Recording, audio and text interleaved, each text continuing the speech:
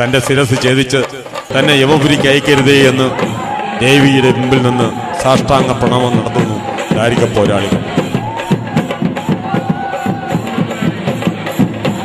തനിക്ക് വേണ്ടി നൃത്തം ചെയ്യുവാൻ വാദ്യം മുഴക്കുവാൻ ആജ്ഞാപിച്ച ദാരികൻ തൊഴുകൈകളുമായി ദേവിയുടെ മുമ്പിൽ നിന്ന് താൻ പറഞ്ഞ വാക്കുകൾ പൊറുക്കണമേ എന്ന് ദേവിയോട് പ്രാർത്ഥിക്കുന്നു.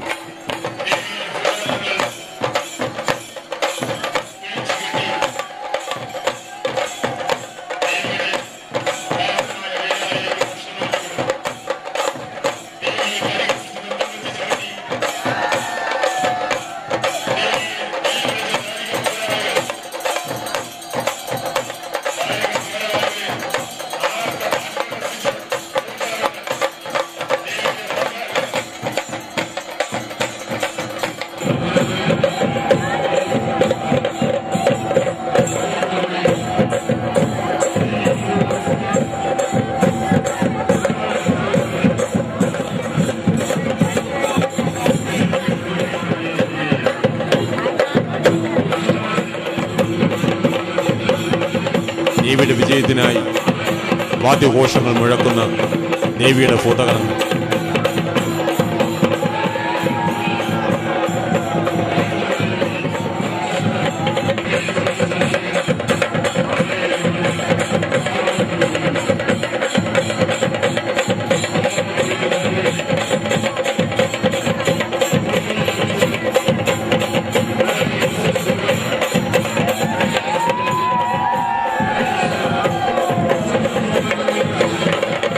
ആറാമത്തെ യുദ്ധം പൂർണമാക്കി ശ്രീഭദ്ര ഏഴാമത്തെ യുദ്ധം നയിക്കുവാൻ രണഭൂമിയിൽ എഴുന്നള്ളുമ്പോൾ ദാരികനെ ശ്രീഭദ്രയ്ക്ക് തൃക്കൺ പാർക്കുവാൻ സാധിക്കുന്നില്ല. ദാരികൻ ദേവിയുടെ നയനങ്ങൾക്ക് മുമ്പിൽ പിടിച്ചു നിൽക്കുവാൻ ശക്തനല്ലാതെ തന്റെ ശക്തി നഷ്ടപ്പെട്ടതറിഞ്ഞ് പാതാളത്തിൽ പോയി വിളിക്കുന്നു. ദാരികനെ കാണാഞ്ഞ് ശ്രീഭദ്ര രണഭൂമിയിൽ എഴുന്നള്ളുമ്പോൾ ദാരികൻ പാതാളത്തിൽ പോയി ഒളിച്ചു എന്ന് അശരീരി ശ്രീഭദ്ര ശ്രവിക്കുന്നു. പാതാളത്തിൽ ഒളിച്ച ദാരികനെ എങ്ങനെയാണ് ഭൂമിയിൽ കൊണ്ടുവരിക എന്ന് ആലോചിച്ചുറച്ച ശ്രീഭദ്ര തന്റെ സമൃദ്ധമായ തലമുടി കൊണ്ട് സൂര്യഭഗവാനെ മറയ്ക്കുന്നു. അതിന്റെ പ്രതീകമായി കത്തിജ്വലിച്ചു കൊണ്ടിരിക്കുന്ന ആദിത്യ ഭഗവാനെ മറഞ്ഞു നിൽക്കുന്ന കാർമേഹങ്ങൾ ഇവിടെ കൂടിയിരിക്കുന്ന ദേവി ഭക്തർ ദർശിച്ചു കാണുമല്ലോ. ആദിത്യ ഭഗവാനെ തന്റെ സമൃദ്ധമായ തലമുടി കൊണ്ട് മറച്ച് ഭൂമിയിൽ ഇരുൾ പരത്തി സൂര്യൻ അസ്തമിച്ചു എന്ന് തെറ്റിദ്ധരിപ്പിച്ച് ശ്രീഭദ്ര തന്റെ നാക്കുകൊണ്ടൊരു പ്രതലം തീർത്ത് ദാരികനെ കാത്ത് രണഭൂമിയിൽ വിശ്രമിക്കുമ്പോൾ നേരമിരട്ടി എന്ന് തെറ്റിദ്ധരിച്ച ദാരികൻ പാതാളത്തിൽ നിന്നും ഭൂമിയിലേക്ക് പ്രവേശിക്കുന്നു. ഭൂമിയിൽ പ്രവേശിച്ച ദാരികൻ തന്റെ മുമ്പിൽ അതിമൃദുലമായ ഒരു പ്രതലം കാണുകയും അതിൽ വന്നിരുന്ന് വിശ്രമിക്കുകയും ചെയ്യാൻ ശ്രമിച്ചപ്പോൾ ദേവിയുടെ നാവ് കൊണ്ട് തീർത്ത പ്രതലത്തിലാണ് താൻ വന്നിരുന്ന് വിശ്രമിക്കുന്നത് എന്ന് മനസ്സിലാക്കാതെ വന്നിരുന്ന ദാരികനെ ശ്രീഭദ്ര തന്റെ മൂന്ന് കണ്ണുകളും തുറന്ന് രൂക്ഷമായി നോക്കുന്നു.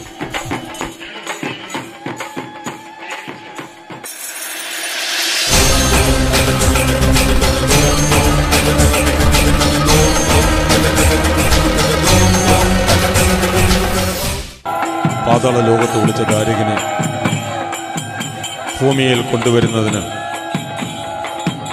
നീലകേശി അമ്മ തന്റെ സമൃദ്ധമായ കേശഭാരം കൊണ്ട് കത്തിച്ചൊലിച്ചു കൊണ്ടിരിക്കുന്ന ആദിത്യ ഭഗവാനെ മറച്ച് ഭൂമിയിൽ ഇരുൾ പരത്തുന്നു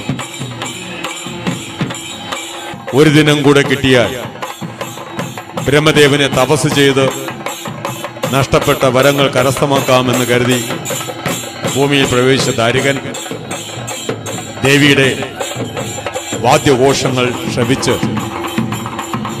ഒരു ഭീരുവിനെ പോലെ ദേവിയുടെ നാവിൻ തുമ്പത്ത് വന്നിരുന്ന് വിശ്രമിച്ച് എന്താണ് രക്ഷപ്പെടാൻ ഉപായമെന്ന് ദാരികൻ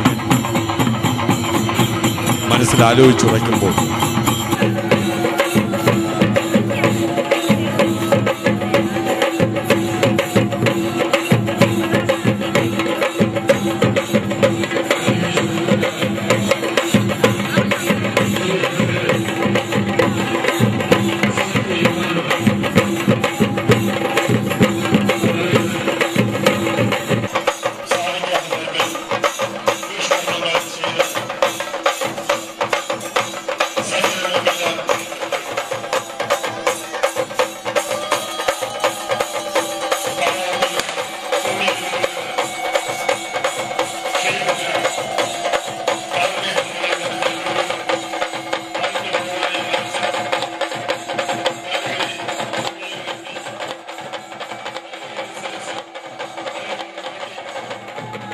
ദാരികന്റെ ശിരസും ഛേദിച്ച് അതും ഉയർത്തി സംഹാരുദ്രയായി കൈലാസത്തിലേക്ക് കുതിക്കുന്നു.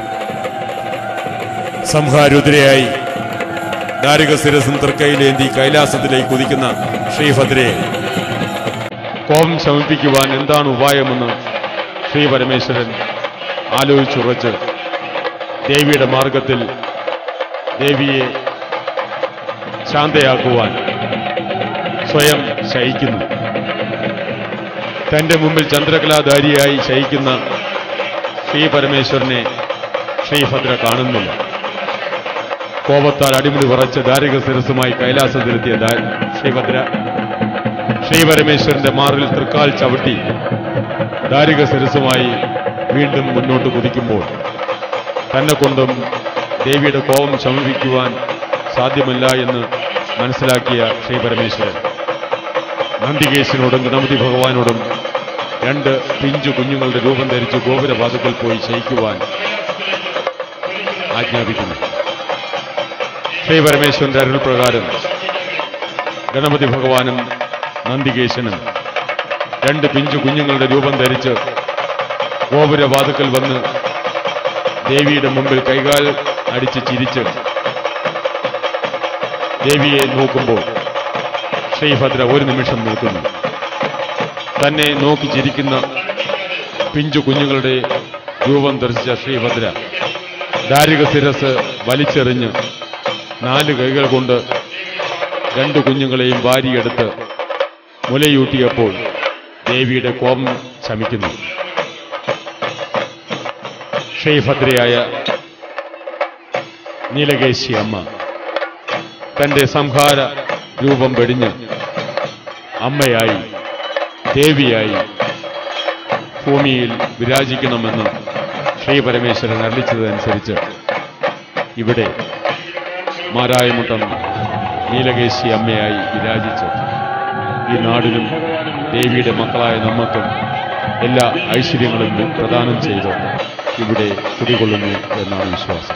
ഇനിയും ആറു വർഷം ദേവിയുടെ ഈ ചടങ്ങ് വീക്ഷിക്കുവാൻ കാത്തിരിക്കണം എന്ന് ഓർത്ത് ആ നിമിഷത്തിനു വേണ്ടി വീണ്ടും കാത്തിരിക്കാമെന്ന് ദേവിയുടെ മുമ്പിൽ പ്രാർത്ഥനാ നിർഭരമായ മനസ്സോടെ മനമുരുകി പ്രാർത്ഥിച്ചുകൊണ്ട് പിരിഞ്ഞു പോകുന്ന അനേകായിരം ദേവി ഭക്തർ.